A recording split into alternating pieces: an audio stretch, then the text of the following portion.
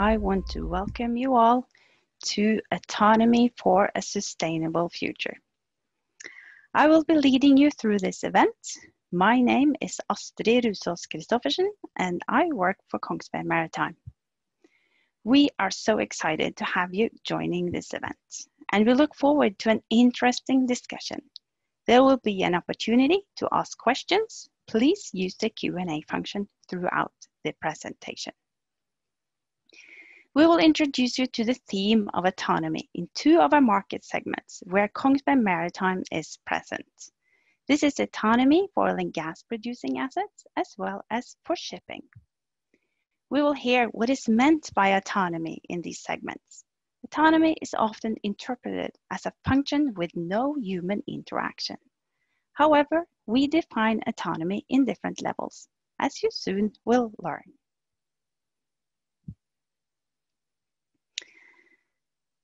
We have an exciting agenda for this event. We'll have two presentations around what is autonomy. What do we mean by autonomy for shipping? And what do we mean by autonomy for oil and gas producing assets? So why do we discuss these two areas of autonomy in our session? Kongsberg Maritime is a technology provider of control systems and safety systems. What is this control system platform providing? We will hear from Jason presenting Kongsberg Control System, our technology platform for providing autonomy. If you're a technology geek, this is your time to focus during this presentation. If you are not into all the technical details, don't freak out and don't leave us because the next two presentations are made for you that just want to make your life less stressful and don't like to be stuck in traffic. Jason, he will talk about that and talk about his dreams and take you through the Autoship program that has a vision of uh, reaching autonomy in just a couple of years. In the end of the presentation, we have saved some goodies to keep you all engaged throughout the whole presentation. We will hear from Antoon Van Coillie, he has founded Zulu Associates that aims to have autonomous vessel operational in two to three years for short sea shipping and inland waterways. He will present their logistics and autonomy vision. I would like to present you to you all the fantastic people that you will meet today. Ann Margrit Ryste, she works for Kongsberg Maritime Director of Next Generation Shipping and will present autonomy in shipping. Kåre Finnbakk and Gaute Bakli, they work for Kongsberg Maritime. They will present autonomy for oil and gas producing units. Jason McFarlane, Kongsberg Maritime, Manager of Research, Innovation, IP Technology Management. He will present Kongsberg Control System and our Autoship program. Antoon Van Coillie, He's an entrepreneur who started an inland shipping company, Blue Line Logistics, in 2011 with novel inland barges. Antoon has now founded Zulu Associates, and Kongsberg Maritime is proud to work with Zulu. But now, let's start the show, and you will meet Ann Margrit Ryste. Thank you, Astrid, for that great introduction, and hello to everyone online. I am Ann Margrit Ryste, Director of Next Generation Shipping in Kongsberg Maritime, and I have the pleasure of starting the session with my favorite topic, autonomy in shipping, hopefully managing to bring some clarity and insight to the subject of autonomous vessels. I am a naval architect from the Norwegian University of Science and Technology in Trondheim, Norway, and I have worked in Kongsberg for 11 years with automation systems for new build vessels, as project manager for research and development projects, and the last four years within the field of autonomy. But first of all, I'd like to start with two key points I want you to remember from my session. Number one, autonomous does not equal unmanned. Think about that for a second.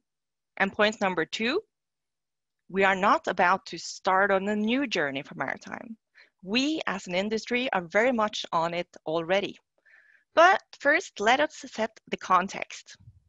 The maritime industry has seen great technological shifts over the years, and is once again in the middle of a profound change. Even before the COVID-19 hit us like a ton of bricks earlier this year, the maritime industry was in the era of digitalization, focusing on data, connectivity, and optimization. We are experiencing a shift from standalone products to integrated systems and beyond, to consumer-oriented on-demand services. The goals are safer, more efficient, and more sustainable maritime operations, where data and connectivity are key enablers. The market has, up till now, been slow at adopting and fully benefiting from new digital innovations. Key challenges I could mention are uh, lack of return on investments on standalone solutions, poor data quality and lack of standards, cybersecurity issues, we all know about that, and general market maturity. As you see in the dark blue bubble, connecting the vessel and assets securing value is the first step on the journey. This is where the majority of the focus is right now. We have seen an increased momentum and focus in 2020, fueled by the sudden need for remote solutions in many aspects of our lives. And we expect this momentum to grow even more rapidly within 21. Today, we estimate that approximately 2,000 vessels in the world fleet are connected. With new builds and refits, we expect this to triple in the next one to two years and expand exponentially after that as satellite coverage and alternative ship-to-shore communication channels becomes available and affordable. This phase is driven mainly by the pursuit of op OPEX reduction, energy fuel saving, smarter maintenance, smoother logistics, and automatic reporting to reduce the workload. The next step you see here will focus on integration of ERP systems and logistical solutions, route planning based on online fuel and cargo price on demand. Availability and priorities in ports and terminals is more efficient due to sharing of relevant information. Looking towards autonomous vessels, we expect more and more of the vessel operation, the maneuvering, loading, unloading, trim, etc., to be remotely operated or autonomous. The crew experience and know-how is still highly valued and needed both on vessel and onshore control centers. The end stage for Maritime 4.0 anticipates fully integrated end-to-end -end logistic solutions, where all parts of the value chain are seamlessly sharing information and achieving the most energy efficient transport of products. And while we are on the topic of autonomous vessels, for the purpose of this presentation, I will use the definition for levels of autonomy set forth by the Norwegian Forum for Autonomous Ships and SINTEF Ocean. The definition divides the levels of autonomy into five steps from decision support to fully autonomous. This brings us back to key point number one. We may describe autonomous as the extent to which a system can carry out its own processes and operations without external control meaning that it's not a question of all or nothing. In Kongsberg, we are currently working on solutions with our partners targeting level two through four, meaning systems for operator support at level two, for remote operation and surveillance, as well as for unmanned operation at level four. When developing anything, you want to understand the boundaries and to clearly define the system of interest, we group our development into what we have termed the three pillars of autonomous operations. The vessel capabilities and not just the navigational functionality. The bidirectional secure connectivity, the remote operation center. So when we talk about autonomous operation, the system of interest includes all three pillars. And with our background as Kongsberg Maritime, we started with what we know best, the existing vessel systems and sensors for understanding a vessel surrounding. We have grouped the vessel functionality into operate equipment, maneuver vessel, navigate vessel, manage mission, sense and analyze environment, and sense and analyze equipment, as you can see on the bottom here. So let us take a quick look into what is happening in this area at the moment. There is a lot of development related to object detection, classification, and collision avoidance going on right now, with the end goal of enabling an operator to safely operate one or more vessels from a remote operation center. This work requires massive amounts of data to train the neural networks, applying machine learning to the algorithms, verifying and double checking the results against reality. Another key factor is the use of simulators to test out behavior, try out scenarios too dangerous for live testing, and replicating the integration of systems. We are developing on the basis of our existing knowledge in Kongsberg and well-proven solutions we see this as an evolution, not a revolution. Now I've talked about ongoing development, but before I close off, I would like to share an example of development which has transgressed into a commercially available solution. One year ago, we were competing with Rolls-Royce Commercial Marine on highly automated functionality for maneuvering and positioning. Rolls-Royce had a head start on automatic crossing, while in Kongsberg, we were in lead on automatic berthing. Luckily for us, we have been able to combine our efforts and have been granted approval by the Norwegian Maritime Authority for using in commercial service auto berthing and auto crossing functionality on a 143 meter long double-ended road ferry owned by Bastøfosen operating between the cities of Horten and Moss on either side of the busy Oslo Fjord in Norway. The crossing takes approximately 30 minutes and the vessel operates at an average speed of 12.5 knots. The captain selects the preferred route according to wind and weather conditions, pushes activate, and the system does rest from unberthing, crossing automatically, and berths safely on the other side. For the second quarter this year, the Chief Operation Officer reported that the automatic system had been used in 89% of the voyages and that the fuel consumption is steadily decreasing as the algorithms are trained from experience. For Bastøfosen, the focus is on safety and consistency according to their scheduled service. The automatic system enables optimized use of engine power and speed in the crossing phase, as the auto berthing system gives you the confidence to be at the quay on time every time. Although you might argue this is not in the range of unmanned autonomy, these capabilities are essential building blocks to enable autonomous operation. We are building up experience and confidence in our systems with the operator and also with the flag state. This is a prime example of what is achievable when you have good partners working together.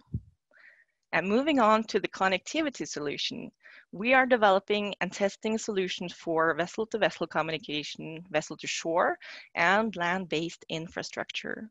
We are looking at both non-real-time and real-time critical systems with strict latency requirements. And of course, you can imagine cybersecurity is high on the agenda. And for the third pillar, we focus on fleet management, remote control, autonomous operation, ship management, and mission planning. In Kongsberg, we are technical experts, but we still have a way to go on the operational side. That's why we wanted to team up with someone who are experts in this field, and Wilhelmsen are the perfect fit for this particular challenge. Together with Wilhelmsen, we established the company called Massterly, And with Massterly working to take position as the operator of autonomous vessels, here we have strong partners bringing solid expertise and competence to the collaborative effort of transitioning autonomous vessels from concepts into full-scale sustainable solutions with commercial contracts. Autonomy is not new. It is a natural evolution made possible by technology and by the motivational incentives becoming strong enough. When we talk about autonomy in shipping, it is not just about the vessel. It's about the entire logistical chain. It's about system integration and connecting and interact, interacting with a wide range of systems and suppliers. And the next big question is on standardization and open source code, but that is a topic worthy of its own presentation for next time.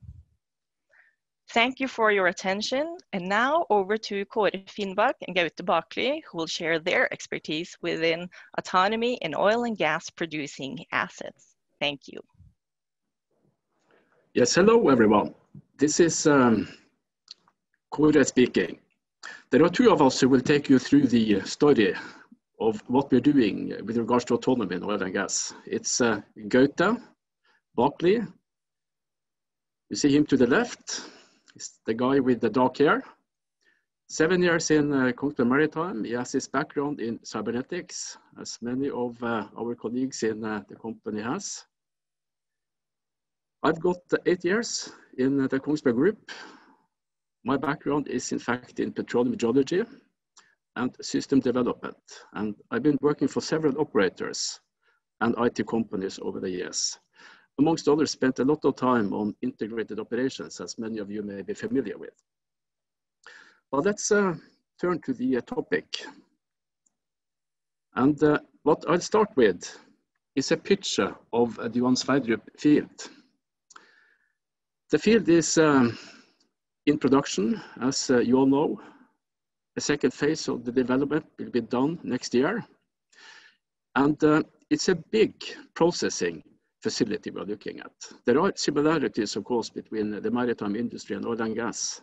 But uh, the fact that we are looking at the big processing facility or production unit, as we call it, is the main difference. This is what we are looking at when we are talking about uh, increased automation and autonomy. The uh, field consists, when uh, completed, of uh, two processing um, platforms, a riser platform, a drilling platform, and a living quarter. It's one of the biggest projects currently undergoing in Norway, one of the biggest industrial projects ever. As you see here, engaging around 150,000 man years throughout the development phase. When in production, the field will produce 600,000 barrels of oil per day. And uh, it will get all the electricity needed from shore. This makes it also a breakthrough project in many ways, reducing emissions uh, significantly. Kongsberg uh, Maritime has been part of this project and is still through the delivery of the Kongsberg control system. So the control system delivered by Kongsberg then is used to control the process from wells through the processing facilities you see to the export line. Looking at um, our position with regards to production units, we are present uh, in many places uh, uh, globally. And uh, we have uh, delivered control systems to uh, floaters to fixed platforms as well as subsea facilities. This gives us a very good viewpoint to observe and also try to understand what is happening in the oil and gas industry. What are the operators doing? What is the industry doing to adapt to new challenges, uh, new price levels, for instance? So, what are we seeing? Well, it's like in the maritime industry, it's new operational concepts that are emerging the industry has been through quite a uh, evolution over the last 20 years from fully manned facilities that were operated as self-sustainable fields to um, integrated operations with remote support centers and more work done uh, onshore. People and activities moved from the platforms to the shore. Now we are seeing a new kind of development taking place new operational concept being established that leans heavily on automation and also more and more autonomy. And I think uh, many of us are familiar with this, also of um, uh, you uh, listeners.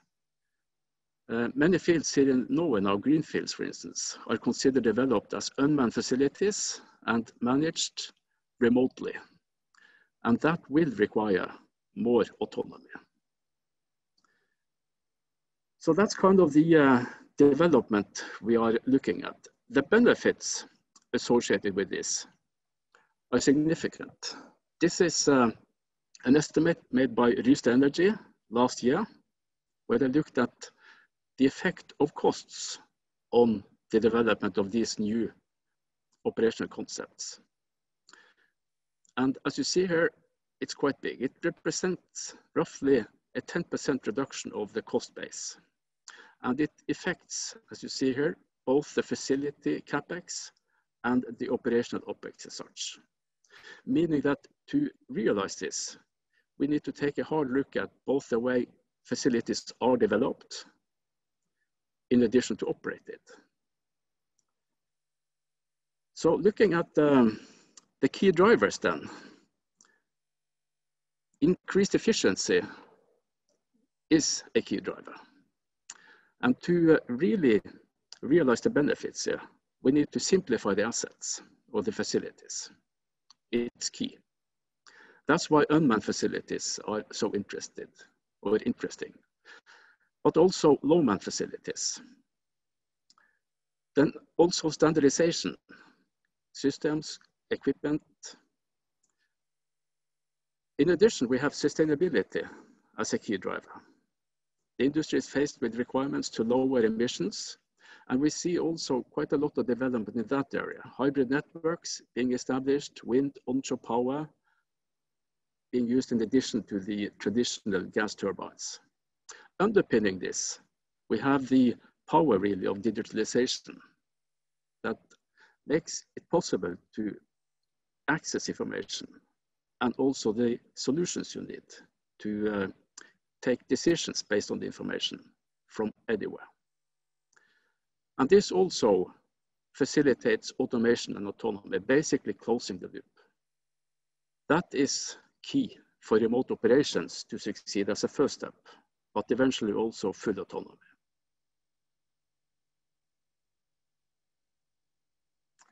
There are several steps towards autonomy and Ann-Margrit has been through this. Our evaluation of uh, the current situation is that most fields today, they are at level two. The um, automation systems and uh, the software used is in control of uh, routine logic, but the humans make the decisions and take the actions basically.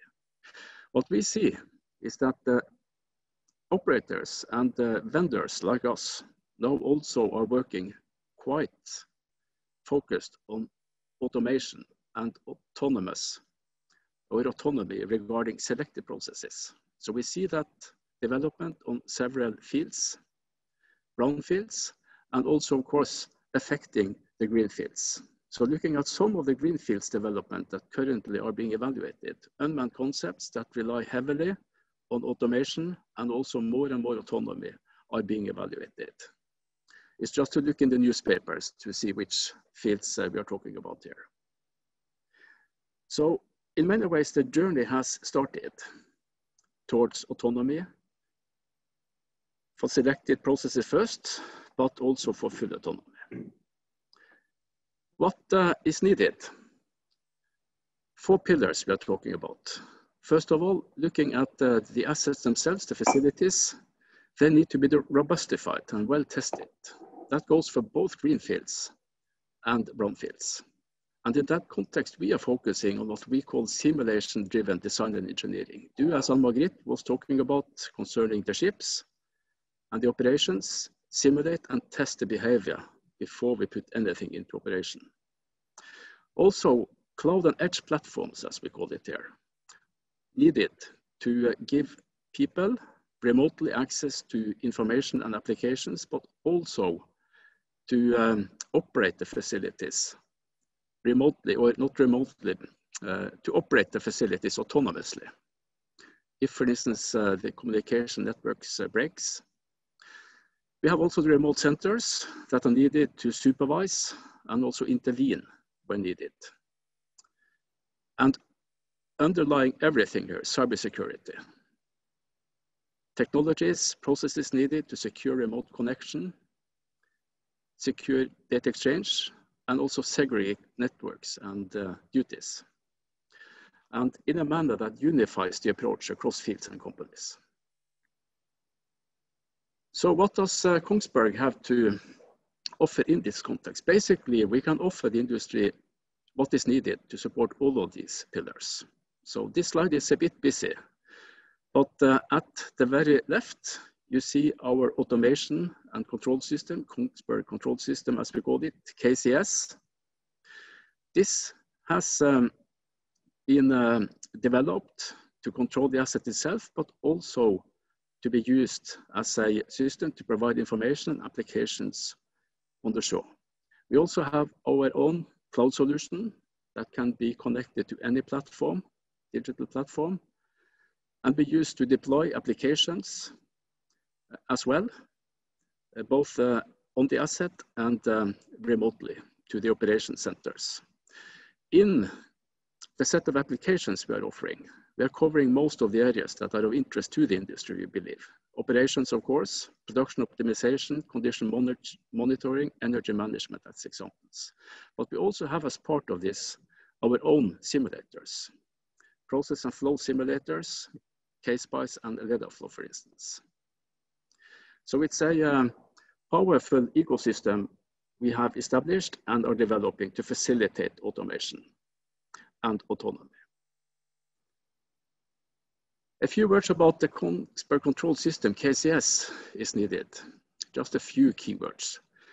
It's a multi-layered control system. It's based on open standards, and it facilitates, as I mentioned, deployment of applications on-site as well as remotely. And it can be deployed on top of any automation system that exists out there. That is important for the operators to standardize processes and um, their toolkits across assets. Jason will uh, talk about uh, this a bit in more detail later. In the end here, let us share some uh, concrete examples of uh, what we are doing in close cooperation with uh, operators. Uh, these examples, Gaute will take us through so uh, please, Gaute. Thank you, uh, Kåre. Um, so as we heard today, in KM, we believe that efficiency and high level autonomy is the way into a greener and more sustainable future. And we see that our customers are moving in this direction too. We are currently taking on several studies and development projects to further explore and push the en envelope of what's possible and we are definitely ready for some big leaps in the near future. Uh, here are just a few examples of what we currently are working on. Um, we are looking into autonomous uh, unmanned facilities, of course. Uh, one button startup. Uh, we are ex uh, experimenting with running through different uh, sequences of startup and shutdown automatically. Um, automated configuration of our safety and automation system to increase efficiency and reduce cost and time. Um, we are looking into new ways of implementing project deliveries, uh, automatic choking of wells, and automatic MEG injection. I'd like to highlight a couple of these, so please go to the next slide. so let's start with the simulator-driven project implementation.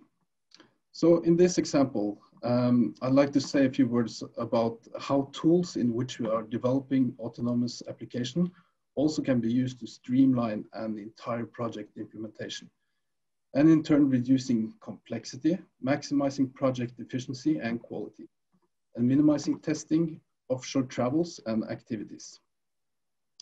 This example is uh, from a recent subsea uh, project where we started up with two parallel sub-projects with no real interfaces between them. So quite simple standard projects to begin with. But uh, as the project went on, four more sub-projects were uh, added to the portfolio. And as the cross complexity grew, standalone offshore installation was not really an option anymore. We then saw an opportunity to utilize K-Spice Simulator to merge and integrate all the sub-projects together onshore, basically doing the whole offshore installation onshore. Then we did a stress test and moved the whole software package offshore with drastically reduced offshore efforts. As we see, uh, we, we, we saved almost 85% of planned offshore uh, hours. we saw an increased quality because of less, uh, less manual configuration. The stress test onshore revealed some deep dynamic issues that never would have surfaced until well startup.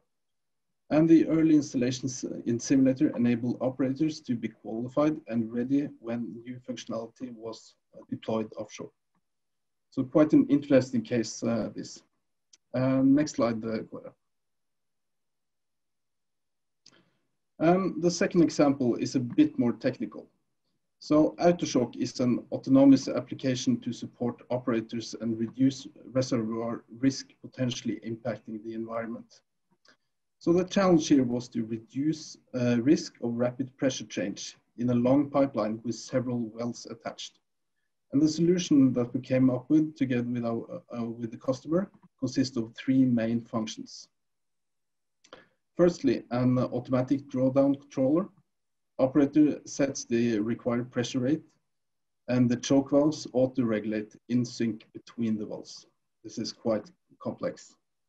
Secondly, pressure drop controller, which is an automatic product, uh, protection against high pressure drop potentially damaging pipeline and wells. And uh, lastly, depressurization, which uh, is a linear pressure relief system and an, an, an enabler for quicker well startup. The benefits are, are safer operation, reduced operation operator load, and uh, a faster producing well after shutdown. Thank you, uh, and back to you, Kåre. Thank you.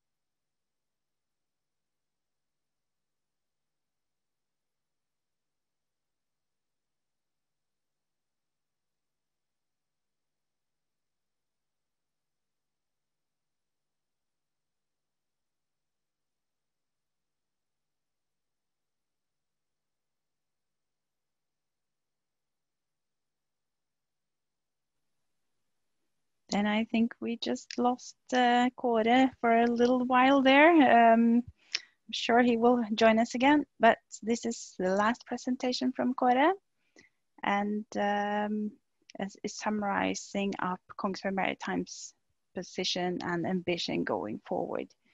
Um, then I think we can go forward to Jason.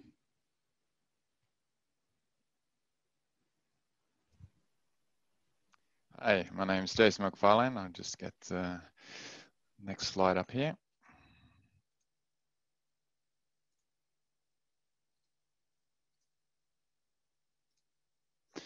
Okay. My name is Jason McFarlane. I'm a Research and Innovation Manager in uh, Kongsberg Maritime. I've been in Kongsberg Maritime for uh, yeah, just under 14 years. So I have a, a wide cross-industry uh, experience, uh, 12 of those last years being in maritime, um, but extensive experience within systems design and development, uh, as well as high-level concept and strategy development. So now I have responsibility for driving innovation. Uh, this is through utilization of external funding, IP and IPR management, and creative design. So what I'll talk to you today with is uh, Kongsberg Control System and then also the AutoShips project. So I've been given a task in, in talking about the Kongsberg control system to um, talk about, uh, I've been given 10 minutes to talk about 150,000 hours worth of development. So um, this is really just touching, uh, touching the, the top of the iceberg. So let's go back.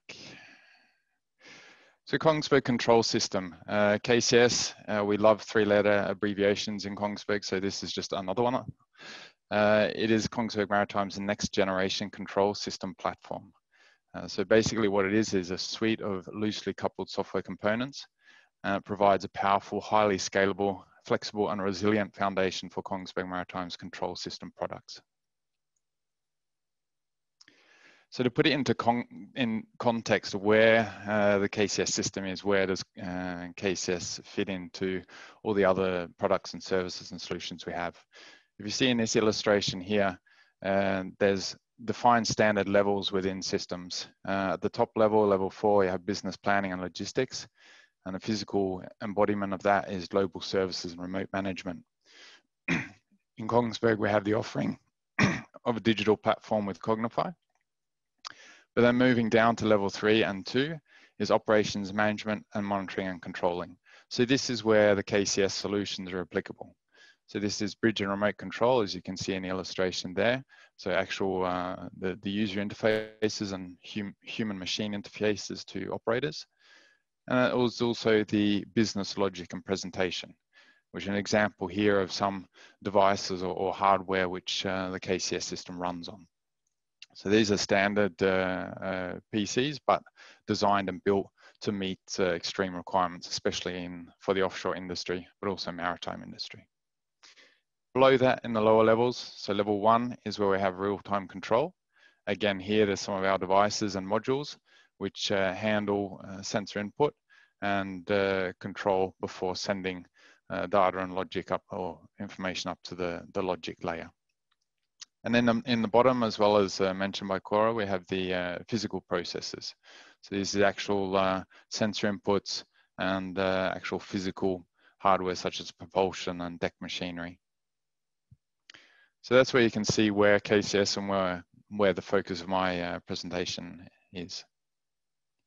So a bit more detail, what is KCS?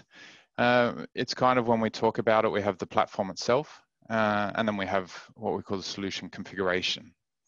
Um, so as mentioned, it, the KCS platform is a suite of software components. Uh, it has a modern, uh, proven architecture, and this architecture is uh, loosely coupled. So this gives us a lot of benefits, which I'll, I'll talk about shortly. It's also something which has been used uh, not just in Kongsberg Maritime, but also used in Kongsberg Defence, another part of the Kongsberg Group. In terms of the solution configuration, this is uh, virtualizes real-world objects, business logic, and presentation. It's actually using a very powerful uh, graph model, which I'll uh, show you soon and, uh, and talk a bit more about but it's actually a key enabling attribute for virtualization and uh, some of the aspects of industry of, uh, 4.0. So it binds our products together as, as solutions. So these two together, then one plus one equals a product or solution. So this is the platform plus the configuration itself.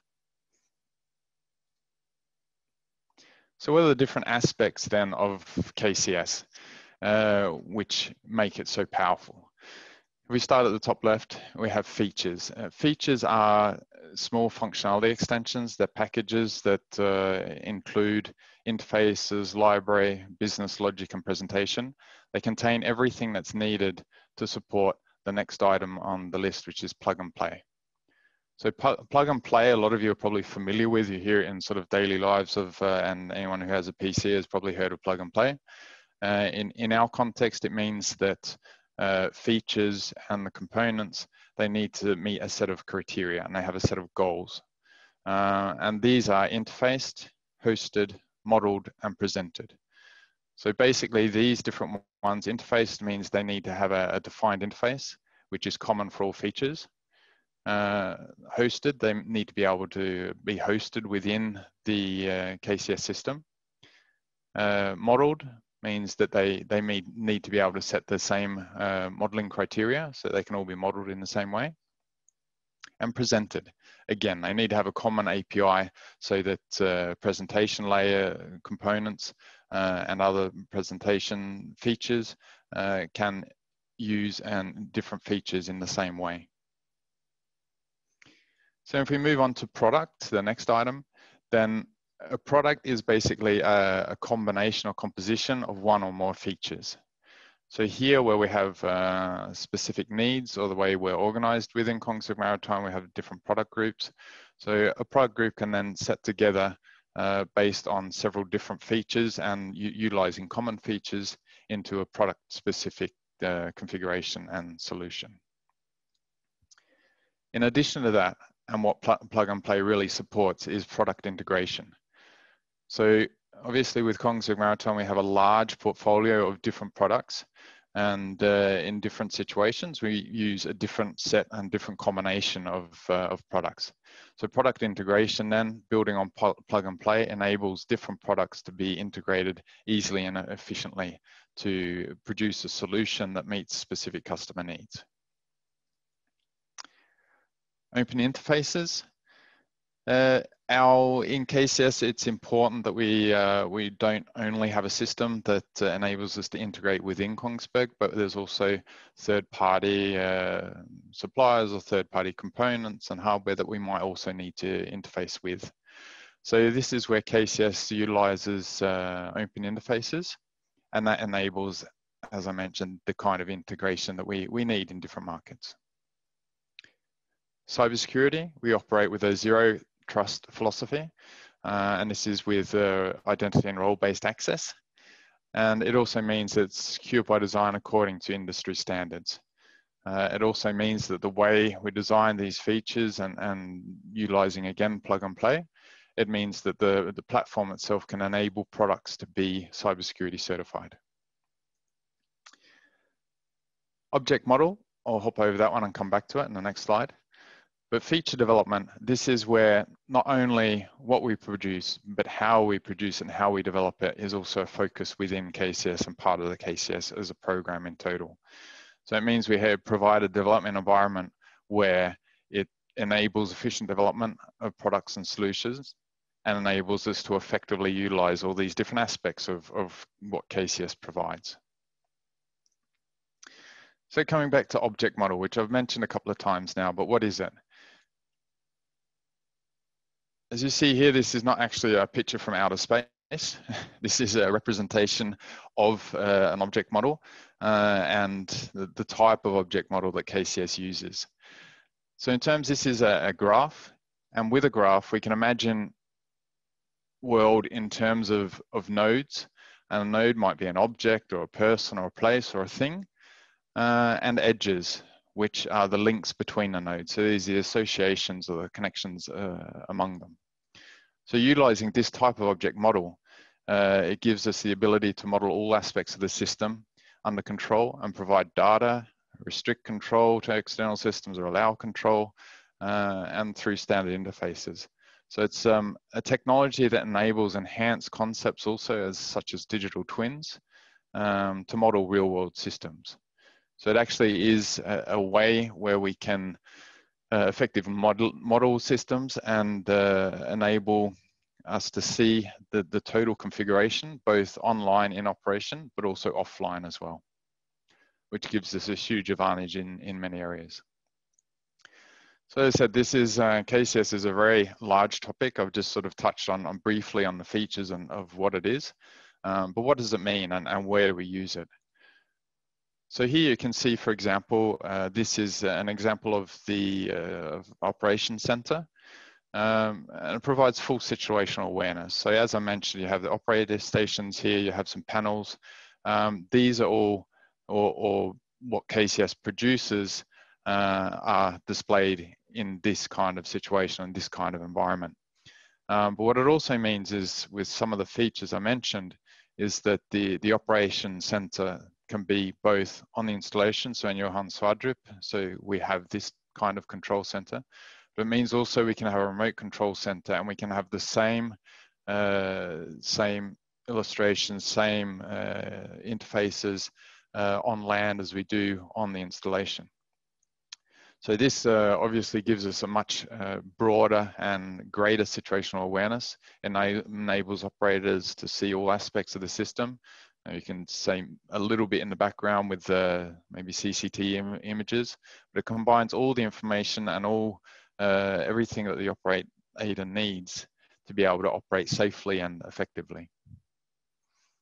And this is also very relevant when we're talked about, we mentioned obviously with Alma giving the introduction of autonomy and, and Kåre also mentioning um, the levels of automated processes and autonomy. Uh, this is also an area where we see application in other areas, not just within um, within limited applications like uh, uh, like shown here. So where else? It gives us safety and critical operations. So as you can see here, again, uh, with process control and with the introduction uh, to Kåre, you've seen this picture and, and some description of it. Um, and this with KCS, it being distributed over the various platforms. Uh, and as I mentioned with the control center, you can have same information and same level of control uh, on these different platforms. And that's one of the beauty that, that KCS allows that scalability, allows that flexibility, and um, increases the level of safety uh, throughout. So that's where we are today with KCS. KCS is deployed, it's in operation, uh, as mentioned. Um, so this is a slightly older photo maybe of the um, of Johan Sverdrup, but um, this is where we are today. But where can we use KCS in the future? It's uh, been a massive development effort, so um, it's not just a one-off. Uh, it's something that we uh, will use continually in the future in, in, in, all our products and services and various solutions. So tomorrow, where will KCS be? KCS will be on uh, applications and concepts like ASKO, for example. KCS is one of the major building blocks that we use in uh, autonomy going forward. And that's where all of these features which I've talked about are very important. Um, the architecture, the design in, in the sort of in the foundation of KCS uh, enables us to horizontally scale from uh, a massive installation like Johan Sverdrup with uh, thousands of uh, computers, uh, hundreds of thousands of IO points to something like a, a much simpler uh, vessel, um, yet complex in terms it will be autonomous and that's one of the benefits of KCS, and it's why it's one of our uh, one of our main building blocks going forward in the future. So just to sort of round off a bit on, on KCS um, before I go into the next part. Um, so I've talked about the technology, I've had the introduction from Anne Margrethe around, around autonomy in general and where uh, Kongsberg is going. And Kåre has also mentioned our, our oil and gas operations uh, and what it means there. So with all this uh, activity that Kongsberg uh, has going, um, how what how are we realizing this? So we've shown, seen Johan Sverdrup, but we've got concepts. So the next part is how do we realize this, and uh, where will it be useful in the future? So to come there, I'll just tell you uh, a little story first. So why am I suddenly showing this picture? This is uh, a summer house and in, in France, and it was my destination for a, a couple of summers ago. And the, the plan was uh, to drive myself and my family uh, from Norway uh, down to France. Uh, we knew it was quite a quite a long way to travel. It was going to take us three days with uh, roughly six to seven hours of driving each day. We'd picked where we were going to be stopping along the way, so Hamburg and just north of Paris before getting to Bergerac. And uh, all was good. First day we set out, the first day went well. Um, we, we got to the destination, had some free time, and uh, everything was going to plan. On the morning of day two, we checked Google Maps, and then uh, then we saw that suddenly the route we had planned had been changed. It was going to take us towards uh, in uh, near Antwerp. And that's originally in my plan. I didn't want to do that because I knew Antwerp, the traffic was uh, not very good. But anyway, okay, an extra hour of driving, we can handle that. As we got closer to Antwerp, so came another message. There was an accident on the, uh, the ring road around Antwerp, which added another roughly hour and a half. So a seven hour drive suddenly became a more than nine hour drive. Um, and uh, along the way, this is what we saw. Massive congestion, lots of uh, cars, a lot of them with just one person in them, a lot of trucks, and uh, really at a standstill for a, a, a, large amount of time. But at the same time, when you looked out the window, if you could sort of not listen to the kids uh, fighting in the back and, uh, and all the noise in the car, look out the window, then uh, this is what you could see. Uh, a totally under, underutilized waterway uh, almost like a motorway of water. And um, and this something has to change. So you see this uh, massive congestion, a, a, problem in, in several areas of Europe, and anyone who's been around Belgium, Netherlands, you would have seen a similar situation. And you generally know not to get a taxi to the airport when it's uh, when it's rush hour but how what's the vision? How how do we fix this? Where do we go from here with these uh, the problems we have that we want to solve and and a seemingly uh, yeah very obvious solution in front of us? Well that, that brought us to a vision. So the vision is this or something like this. Um, how do we utilize waterways? We have the Zulu here, which Antoon, um, uh, partner in, in Autoship, and um, we'll talk about soon but with some autonomous barges. This is the vision. This is like perfect. This would solve just in this picture alone at least 50 truckloads off the roads and ease the congestion. But what's our part in it and how do we help to reach this vision? That's where we come to Autoship. So Autoship, what is it? Um, you may or may not have heard about it. But Autoship is a Horizon 2020 funded uh, innovation project. It responds to EU's need to increase multimodal transport and relieve road congestion by developing and integrating key enabling technologies for autonomous ships. And this is via two use cases. So the two use cases here is one is the uh, short sea general cargo carrier. The specific use case is a fish feed carrier called Eidsvåg Pioneer, uh, which will operate off the west coast of Norway in a short sea uh, shipping route and uh, supplying fish farms with fish feed. The other one is Inland Waterways barge, Zulu, and this will be uh, demonstrated, or both these use cases will be demonstrators, but be demonstrated in, uh, in and around the Antwerp region, the Flanders region, uh, in, a, in a selected um, route around uh, and, and near Antwerp. So this is the, the project. I'll tell you a bit more about these different use cases now. So the first one, as mentioned, and uh, the autonomy levels have been mentioned. So this is a level four barge. So it is intended to, to be demonstrated unmanned. Uh, as mentioned, operating in the Flanders region with a very uh, specific focus on enabling more effective logistics and uh, shift from roads to waterways. So shifting, uh, as mentioned, the truck traffic from the roads to the waterways. Uh, in our estimations, so one barge will replace approximately 12 trucks. And uh, just looking at that reduction alone, it's uh, approximately 90% reduction in emissions. Uh, this will boost utilization of inland waterways and reduce traffic congestion. So there's several very large benefits here, both for the region and for Europe in general. The second concept or use case, as mentioned, is a, fish feed carrier. So this is, uh, again, we have an image of Eidsvåg Pioneer here uh, with some concept uh, images of, of what might replace it uh, in the long-term future. For AutoShip, this is actually level three. So there is an intention to go unmanned, as uh, Anne Margrethe has, has, described the differentiation between autonomous and unmanned. Um, but in this one, it's the, the goals are improved safety at sea. So we're able to support uh, onboard operations from onshore.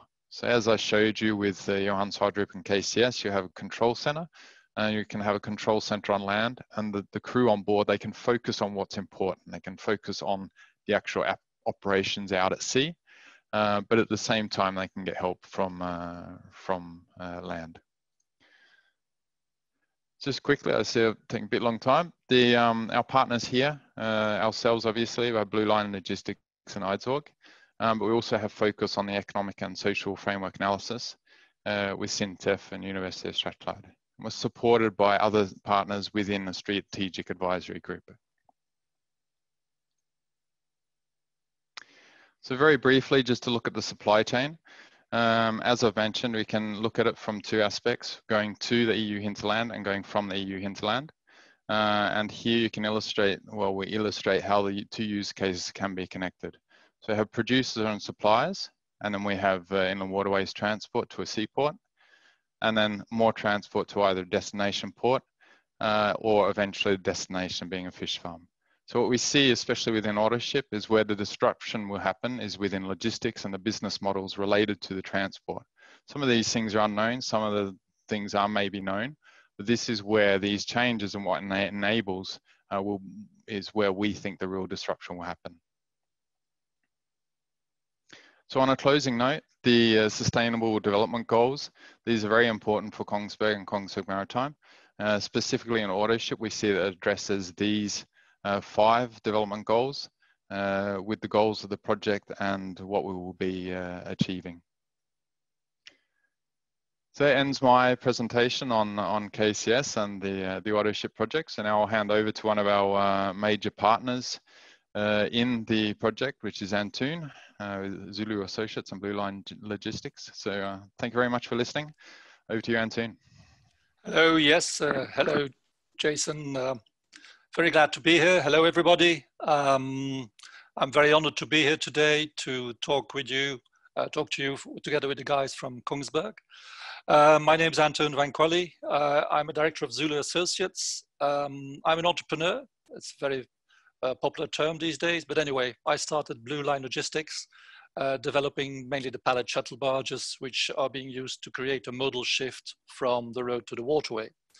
I was I've been active in banking, construction, real estate development, but mainly I have an interest since 2011 uh, on inland waterways and maritime elements. I did serve in the Belgian Navy, which does exist, uh, mainly minesweeping and of course um, fishery protection.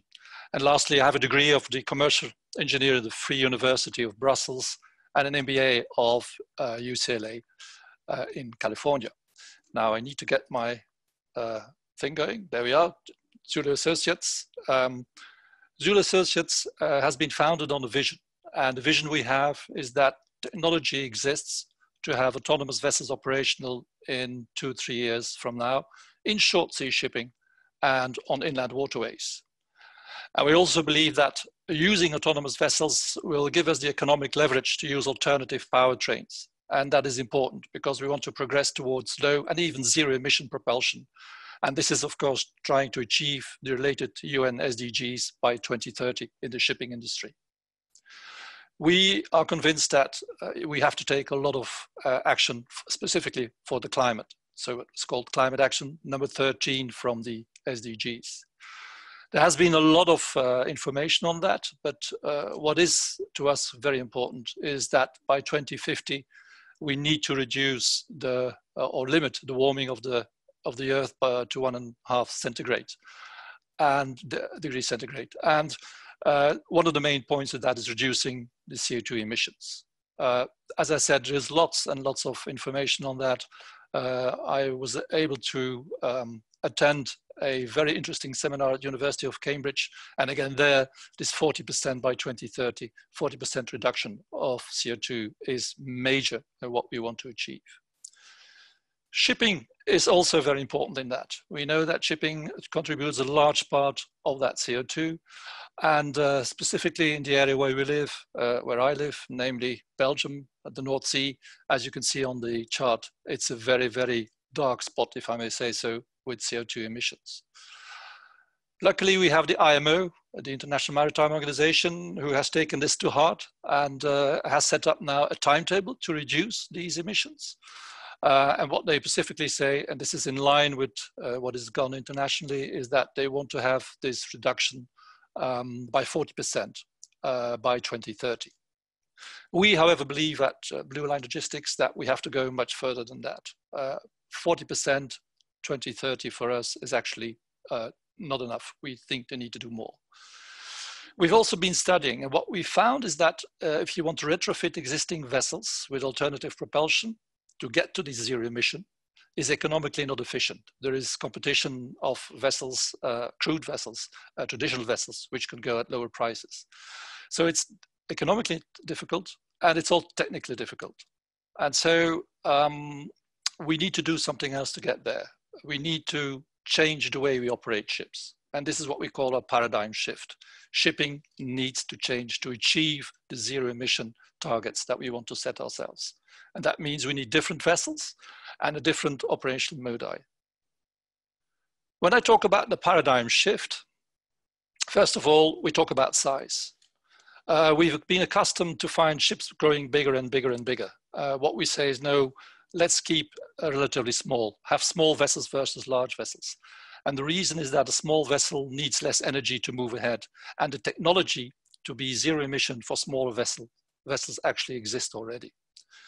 The second thing is that obviously you have to be autonomous. And we want to have uncrewed vessels. I'll come back on the economics on that in the next slide. But uncrewed vessels uh, have a lot of savings, and therefore, if you make a vessel autonomous, this is one of the ways to go ahead. The other third one is that you need to set redundancy on vessels. In other words, all the systems you have have to be multiple. You can't afford to have a single system. And the reason is that if a ship, uh, if something breaks down, you need to have something else that can take up the slack. So it's important when you design vessels that they have to have multiple systems, not just one system. For example, we are designing, and I'll come to that as well, uh, a short sea vessel. It will have a bow thruster we can, which can take over from the main propeller to bring the ship safely to a port. And lastly, the propulsion. An interesting point is that in many ships, the propulsion is fixed in the hull. Um, and when you want to change it, it takes uh, a lot of hassle. You have to take things out, you have to demolish things and new things in. We believe in having electric powered vessels with a modular powertrain that generates electricity. And that powertrain can be changed as and when new technologies arrive. So you don't have to change a ship to uh, become more and more towards zero emission. Now, talking about the economics, because it's all very nice to play around with technology, but you need to make it work. Well, if you make autonomous vessels, you have capex savings. The main savings are all the things to do with the crew, and that is mainly um, accommodation, it's all the safety equipment, etc., uh, etc. Et uh, that is a major cost. And opposed to that, obviously, you will have the cost of the autonomous system, but that is where we both can be brought into line. And therefore, the autonomous vessel should not cost more than a, a crewed vessel.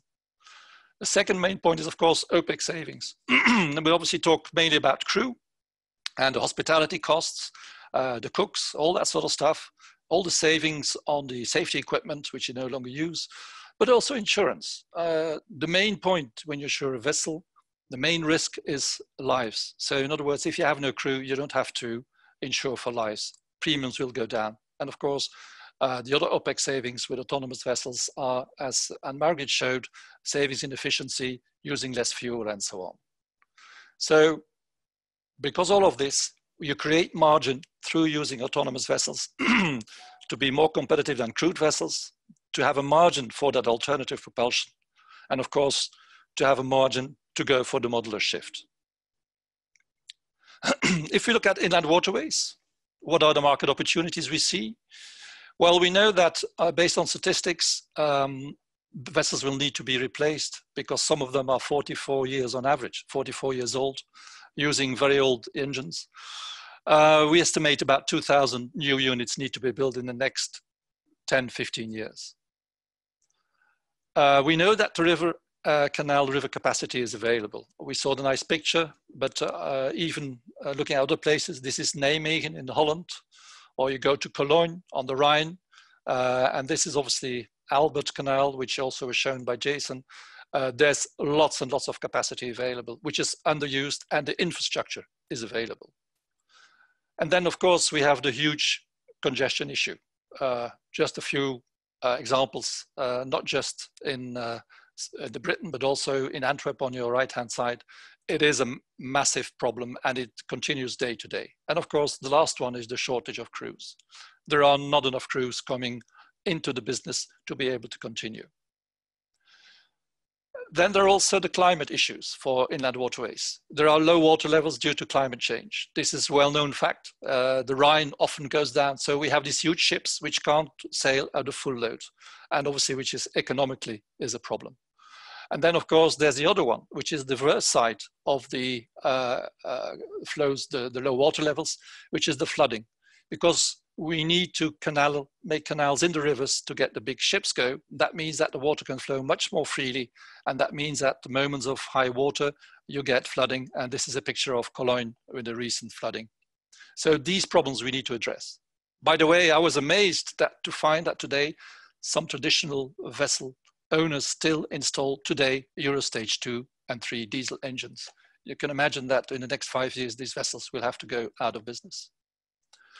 So we say that for the additional advantages of small vessels make them more interesting and therefore economically viable. They can work with the low water level conditions. They don't need large infrastructures. And last but not least, they have a much higher redundancy. If you have 10 uh, 1,000 uh, ton vessels as opposed to one 10,000 ton, if one breaks down, you still have 90% of your capacity. Oh, by the way, when you talk about large ships in canals, this is a picture of a, a large vessel uh, in Tournai, in the middle of the city. So you can imagine if that ship breaks down, everything is blocked. Short sea market, yes, there is a market for that as well.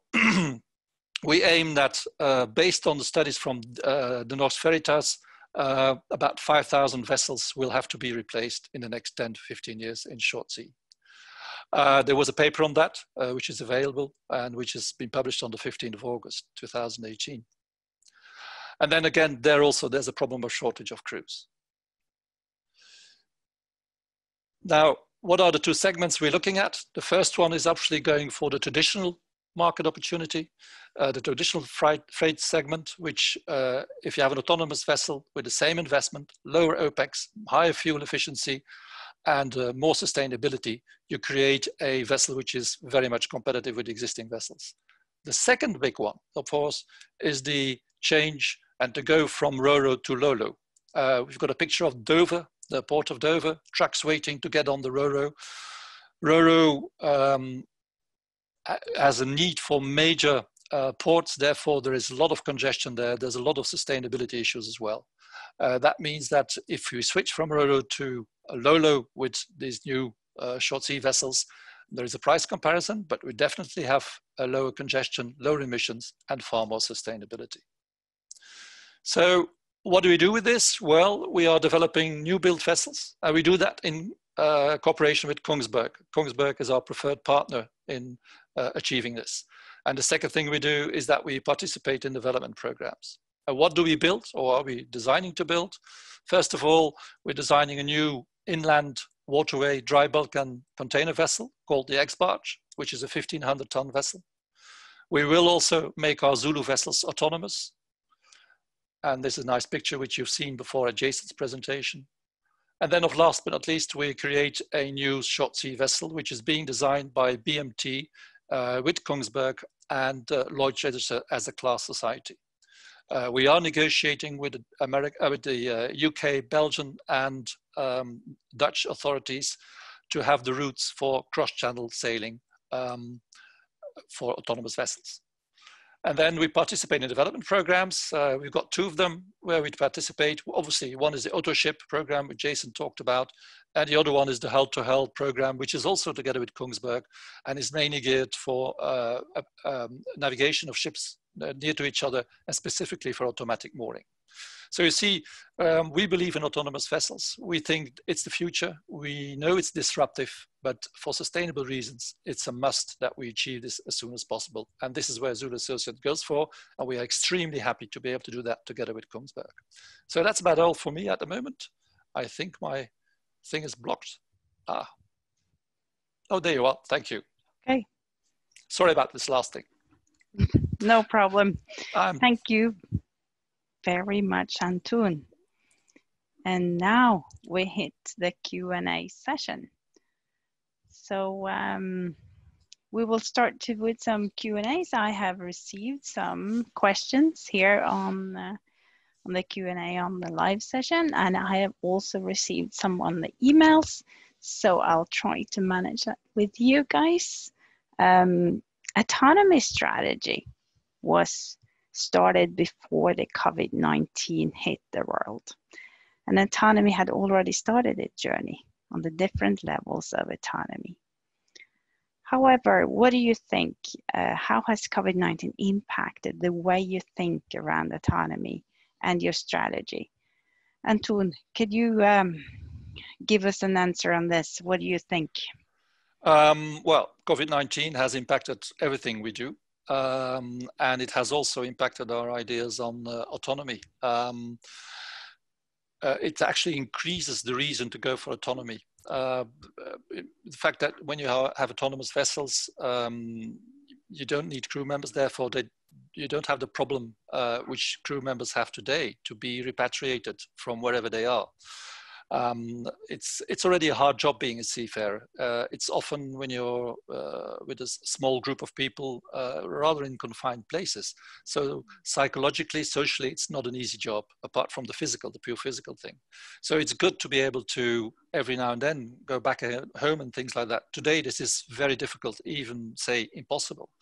So for the for the for the benefit of the seafarers to go for autonomous vessels is a major point, uh, very positive. Another one, an interesting one, is uh, if you look at the uh, cross-channel uh, traffics we're looking at, going from uh, Europe continent to Britain, for example, uh, the COVID-19 limits the use of truck drivers. It's, it's becoming more and more difficult. Therefore, the switch to Lolo from Roro is becoming uh, more acute.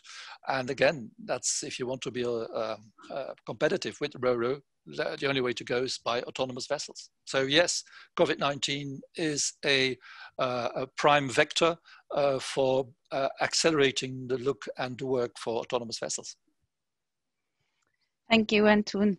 As we move up to the levels of autonomy, the humans will be in, involved differently for the different levels. So, but how do you see the role of the humans for autonomy, Anne Margrethe? Thank you, Astrid. I think that is one of the key questions because when we're talking about the levels from level two, operator support, remote control, uh, even for continuously unmanned operations, there are still people in the loop, both in designing the systems and solution, as well as monitoring and keeping an eye on everything going on board. So there is still a high level of human interaction. And also, as we touched upon, that uh, smartness and the understanding and knowledge of the naval and marine affairs is necessary to design the systems to operate in a, in a correct behavior. So we will need that human in that loop all the way through until at least we somewhere in the future might reach a level five where the operation is fully autonomous independent of the human interaction. Well it's good to hear that we are we are still needed i think. How do you think about that in oil and gas producing assets uh, what is the role of the humans in an autonomous world I think uh, I totally agree about the uh, first answer here. And uh, first of all, I think uh, humans and especially experts working in the oil and gas uh, domain will play a vital role designing and testing the control system for the future. Uh, and also the development will not stop even when we can control the core, core controls in level five and autonomy. Um, and also, I think we have a lot of work in front of us so I'm not especially worried about the, the future. Thank you. But what about safety then? Safety is a lot of times mentioned as a critical factor for autonomy, especially when we move up these levels. What if connectivity is missed? And uh, the other question also, also goes, can autonomy increase safety? Anne Margrethe. I think that is a really interesting uh, discussion, Astrid, and uh, and one also where we talk with different partners and we are not seeing eye to eye on every aspect of this because you might think that the natural step would be to have remote control of a vessel rather than having it perform its own logic and be more available and um, have the possibility to operate by itself. But on the other hand, that renders the connectivity solution to a really safety critical system. And I think the IMO has actually opened their eyes towards this as well. So is it really safer to have your hand on the gear, to put it like that, from a remote um, location, sitting and directly controlling a vessel rather than having it perform its pre-programmed tasks with a fallback strategy already implemented. And I think another interesting aspect worth mentioning is actually how the insurance companies are looking towards this. They are actually willing to lower the premiums for more automation and uh, autonomous vessels. So they are sharing on this, they are pushing towards solutions which require higher levels of automation, realizing that still a too large number of uh, casualties in the maritime operations are caused by human errors. Mm. Thank you, uh, Anne Margrethe. We have a question here about business logic. I think this goes to you, Jason. Um, when you were talking about business logic as being integrated in the automation, what exactly is meant by that term? Yeah, in uh, in general, we refer to it as the the sort of commonly accepted uh, definition of business logic in in programming. So it's more just sort of the uh, not necessarily the business operating rules, but it's more sort of uh, rules related to the control system. Uh, so this is um, this is what we mean when we refer to, to business logic. So it's more a reference to sort of the commonly accepted uh, term within within programming. So rules, but not specifically business operating rules, but more uh, rules related to the control system and, and operation and presenting data, for example, collected from uh, other levels within the, uh, the control system. Another question here goes to Antoon. What do you believe are the regulatory obstacles to commercializing inland waterways autonomous vessel operations? Um, well, first of all, we are in luck in Flanders, Belgium, and uh, also in Holland that today we can already uh, operate autonomous vessels, not on a fully free basis, but uh, enough that it actually almost uh, possible um, on, a, uh, on a, how do they call it, regulatory way. The laws and regulations have not changed, but we can get exceptions. This is obviously paving the way uh, towards a full uh, possibility and full regulation adaptation. Now, things are being done at the moment, uh, not only in Flanders, because the Flemish waterways are part of the AutoShip program and part of the regulations review is part of that AutoShip program. But they are working very hard with the CCNR and also UNECE are working very much on the need for uh, adapting the regulations allowing autonomous vessels. Now on inland waterways, uh, I think especially in uh, Belgium and in the, and in Holland, uh, I can see this within the next two years to be totally commercially viable. Uh, if that is the case, then the north of France will follow easily. Uh, we have uh, Germany, uh, which is next door. Uh, the Rhine is a definite possibility, so they are also gearing up slowly. Um, and there are some other op opportunities as well around in Europe. So yes, there are uh, a number of things that need to be uh, taken, a number of uh, changes that need to happen, but the authorities are working on it because they know for sustainability and also for economical reasons that needs to be done. So yeah, within the next two years, we'll have that. Can I just add uh, also to, to Antoon's answer is, um, uh, as mentioned with the AutoShip project, the, the focus is not just on the, the technical deliveries and the demonstrators themselves, but issues such as regulations, uh, what sort of uh, rules and how do we achieve commercialization of autonomous shipping uh, within five years of the project start.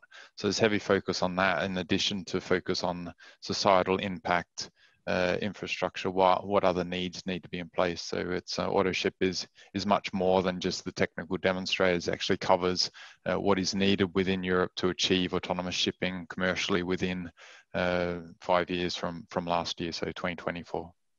And I would also like to add that uh, for cross-channel vessels, uh, there are we are now negotiating with, as I said, the UK, Belgian, and Dutch authorities to obtain the necessary approvals to move uh, within certain routes to uh, autonomously across a channel. So this is this is happening at the moment. This is not something for the long, long future.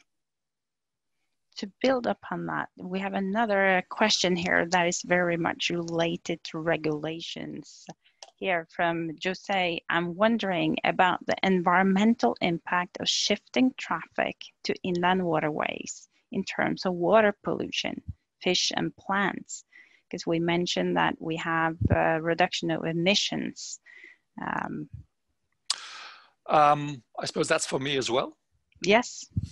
It's an interesting one. Uh, and again, if uh, we have smaller vessels, uh, you don't need to disturb the waterways to get these vessels go through. So you don't need to dredge, you don't need to make uh, deep uh, canals within the rivers to do that. So your natural environment is much less, uh, what I say, uh, changed when you use smaller vessels.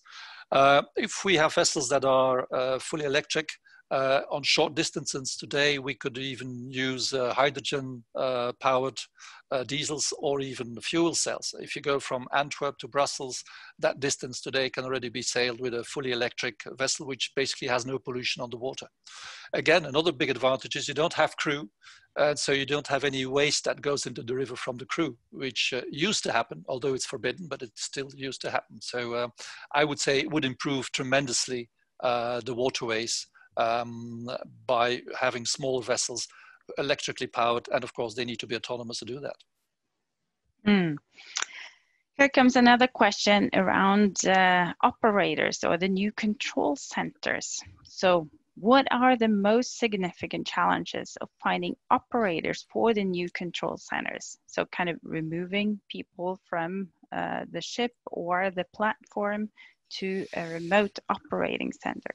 So what are the most significant challenges in doing that? I think the question can go to Anne Margrethe. Thank you, Astrid, and I also get to have some comments on this, but I can go first.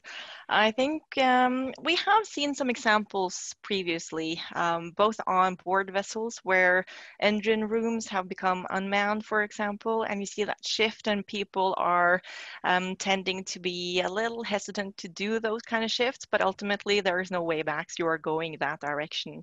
Another example is from uh, drones, for example, not too many years back. Um, the first first thought was that a pilot, uh, um, a plane pilot would be the best operator of a drone. But then as you gradually learn more and more about that operation, you see that that doesn't necessarily need to translate because you need different skill sets. So that is actually the discussion we're having right now with the universities of masters and mariners to see what type of education, what type of persons, and also to distinguish between the Haba Maba principle, meaning what humans are best at and what machines are best at. Because you can also imagine that just looking at something and monitoring it for, for extensive periods of time time and then suddenly alarms go off and you are expected to be on the ball on the moment and know exactly what to do. Is not an ideal setting for a human operator um, as such. So this is really um, an interesting aspect. We don't have the full answers to this yet as it's in the stage of research and development um, but this is where we at least are engaging heavily with operators with people who have that type of experience to to understand more and also how to have more efficient work days because there are so many manual processes today that you can actually automate as well so it's not just about the the, the live operation it's all about the ship administration as well Thank you. But what about in the offshore uh, oil and gas production assets where we have new control centers, and uh, we're not so reliant on the offshore worker anymore. And uh, what what are the challenges there, Gerte? I, I still think that it will be a need for kind of the core understanding of the operation still. So we see see a lot of uh, data scientists coming into the to the operational space now, but uh, we we have to revert back to understand the actual core business of what we're doing. And uh, as I mentioned in the last question, um, it's just fundamental to understand the process to be able to automate it as well. And also, I think um, um, autonomy will be a huge enabler to ensure an even safer and more sustainable operation, um, as we will get a more exact understanding of the interfaces and the weaknesses of the actual operation that we, we, we do. So um, one of the aspects is to actually optimize the uh, the operations further, and I think uh, there's definitely a space for for oil and gas experts in that area. Well, thank you. I'm sure there's a lot of good uh, work that needs to be done to integrate the the operational people and the IT people to make this happen going forward. Can I just add as well, Astrid, that um, and this is uh, as uh, both Garte and Margrethe mentioned, this is an area where um, there is uh, some research being done, and, and Kongsberg is in, involved in in several different research projects to, to look at exactly this challenge as the the operator in a in a control center environment and what it means, what aspects need to be taken consideration of. So um, it's uh, it's a very uh, interesting area to to work on as well. Thank you for popping in, Jason, and uh, please continue to do that um, when we do these questions. Another question here uh, is how will unload and offload of containers and trucks be handled when you have an automated vessel? I think I will need to to place that to, to you, Antoon. Well, um, what will happen is that I think, I mean, that's where we're working at, is that um, you will have certain berths where these vessels come. they will berth themselves, uh, whether magnetically or some other systems. And of course, you can organize that berth then to start loading and unloading uh, the vessel. Uh, if it's a container vessel, uh, this is already happening today, more or less. Uh, in certain ports, uh, the uh, actual loading and unloading already happens uh, automated. Uh, in Rotterdam, they even move the containers with automated trucks already. So that's one thing. Of course, if you talk about break bulk and so on, but again, if a ship is moored, then people can go on board and they can start getting the break bulk out. as for bulk, well, same system. Um, for inland waterways, uh, we're looking also at when the ship arrives at a certain place, some people will be uh, organized so that they know they, how to operate the lifting equipments, etc., and load and unload the vessel. So in the future, it can be fully automated, but in the meantime, it can still be done by humans. Mm. This also, oops, it's another question. Um, what is your reference for stating that the additional cost of redundant systems or technologies for autonomous vessels outweighs the cost of crew? I think this also goes to you, Antoon. Uh, well, are two elements. Uh, what does it cost to put people on a ship, i.e. accommodation? How much does a loo cost? Uh, even the simple um, equipment, uh, you know, all this safety equipment, all that sort of stuff, is is a huge budget. Um, we've done calculations and we find that uh, the budget that gives us uh, for doing this is uh, large enough to be able to pay for the autonomy. On the OPEX side, um, uh, we obviously don't have any crew on board, but you will have certain people that will work in the ports. And of course, you have the remote control center costs. Uh, again, uh, looking at the costs, operational costs for short sea and for um, inland waterways, uh, you know, um, having a 24 hour operation on an inland ship with uh, four or six people you can easily calculate what the cost of that is. And if uh, opposed to that, you have a remote control center where you have uh, more than one ship to the operator and you have a number of people uh, that will um, uh, receive the vessel or put the vessel on its way, you will find that there's a difference which is enough to be able to do so. Mm. I think too, I'll, I'll, jump in seeing you said I, I could do Astrid. yes, uh, you are free to jump in. the um, What we also see is that uh, because obviously with autonomy, like Anne Margrethe has shown and, and what we're looking at auto ship, it's it's not just the technology or the vessel. So so any of these calculations, we often talk about, uh, obviously it's uh, CapEx and, and we focus on operating a single vessel. Um, but where the larger benefits on, on a, in a bigger picture is when you, like I mentioned a bit, where you disrupt business models or, or existing logistics. Um, and where the benefits are also outside not just the operating costs of the vessel itself, um, but what other benefits do you get? Do you get more uh, with a smaller vessel that operates maybe 24 7? Um, you can have more frequent delivery, for example. So um, maybe you don't, a, a, customer doesn't need as much storage. Um, they can get goods when they need them. Um, you support a, a, totally different way of transporting uh, goods in in a total sort of mobility picture. Um, so even though it, it's obviously very important, we do focus on concrete sort of benefits and, and capex measurements and, and crew costs. Um, there is a bigger picture which we also include in some of our calculations, but it's a bigger picture. Some of it's known, some of it's unknown. But um, there's definitely a disruption on the way once we get a more sort of autonomous mobile uh, system in place uh, in in various segments and areas. Yeah, this comes now, I think, and we need to go to the last question as we uh, are very soon hitting our deadline here. But there's a lot of questions around humans and related to autonomy. And one of them is also the impact on human manpower, according to automation. So when we uh, to climb the ladder up, uh, we've talked about sustainability here, but removing costs and, and so on sustainability is obviously also about manpower and re removing removal of poverty. So how do you see the life of the humans in this world, Jason? Yeah, no, that's um, a, a, good question and something which is uh, is raised often, especially around autonomy when we, we talk about, and uh, you know, the, it's one of the reasons why I differentiate between unmanned and manned.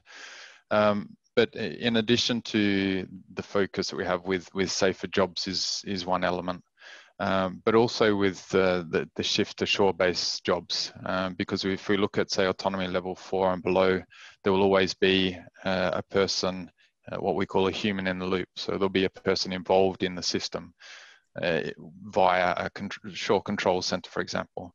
So the shift there will be that instead of people, and especially in inland waterways, younger people don't want these jobs uh, or aren't taking them, uh, that you will actually change from being an operator to, on a barge to being an operator in a control center, which will be more like an office job. It will be nine to five. You don't have to work shift away from family, away from friends.